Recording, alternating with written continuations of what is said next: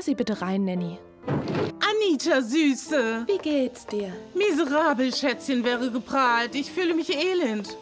Hm? Wo sind sie? Wo hast du sie versteckt? Hm?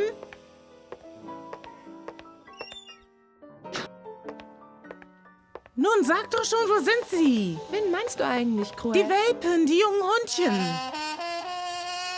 Anstatt zu tuten, sollte er lieber die Hunde holen. Das geht nicht. Du musst leider drei Wochen warten. Sowas lässt sich nicht beschleunigen. Anita, mach keine dummen Witze. Gib Pfötchen, Hund. Du sollst nicht knurren, sondern Pfötchen geben. Cruella? Ist das nicht dein neuer Pelzmantel? Oh, du dummes kleines Aschenputtel. Ich lebe für Pelze. Pelze sind mein Leben. Mm. Ich glaube, es gibt auf der ganzen Welt keine Frau, die nicht für Pelze schwärmt.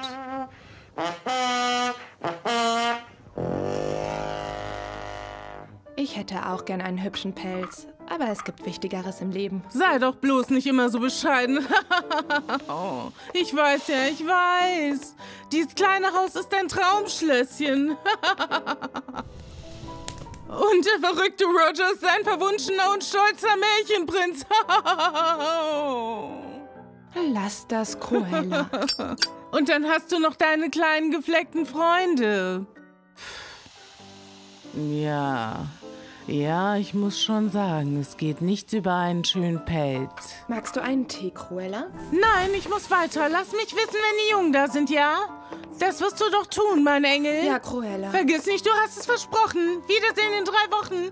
Tschüss, mach's gut, meine Süße. Oh.